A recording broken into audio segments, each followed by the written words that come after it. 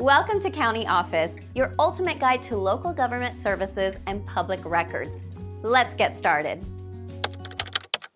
What is domain squatting? Endomain squatting, also known as cyber squatting, involves registering, trafficking, or using a domain name with the intent of profiting from the goodwill of someone else's trademark. This practice can lead to confusion among consumers and harm the reputation of the legitimate trademark owner. Domain squatters often demand a high price to sell the domain back to the rightful owner or use it to generate revenue through misleading websites or advertising. Legal remedies for domain squatting may include the Uniform Domain Name Dispute Resolution Policy, UDRP, or litigation under the Anti Cyber Squatting Consumer Protection Act, ACPA. These legal avenues aim to protect trademark owners from bad faith registration of domain names.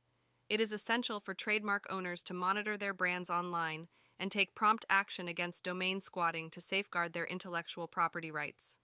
IN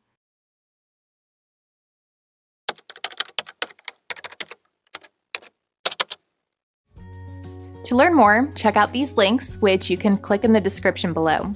And feel free to comment your questions. We're here to help.